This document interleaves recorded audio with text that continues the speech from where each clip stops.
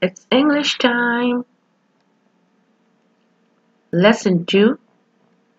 Our topic for today is ordinal numbers. So let's begin. Ordinal numbers. Our lesson objectives are to understand ordinals, to use ordinals in sentences. What are ordinal numbers? An ordinal number is a number that tells the position of something in a list such as first, second, third, fourth, fifth. Let's practice ordinals. Can you write the ordinal numbers in the correct place? Here you can see different cars.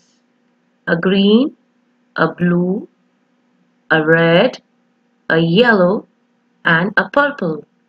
Now the green car is first. So an ordinal number tells you the position. So the green car is first. The blue car is second. The red car is third. Students, can you tell me the position of the yellow car? Yes. Good. You guessed it correct. Now, tell me the position of the purple car. That's right, fifth. Let's practice some more ordinals.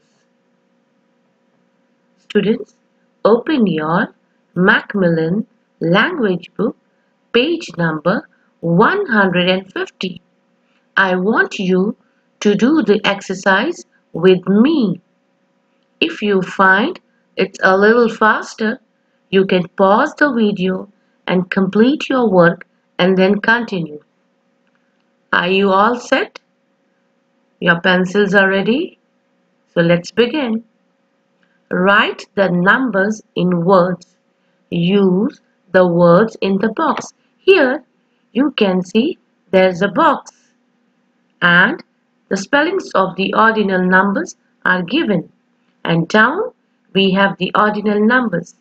I will read the spellings in the box.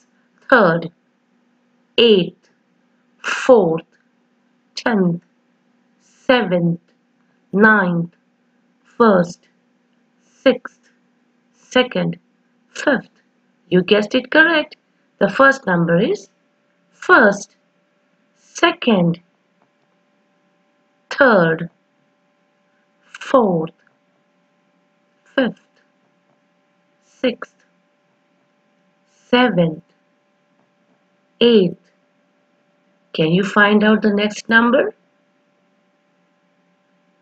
That's right, ninth. And the last number is 10th. Good job. Well done. Now student, you also have an amazing worksheet attached with this video. Please complete the worksheet after you watch the video. Thank you so much for being with us. Bye for now. Thank you.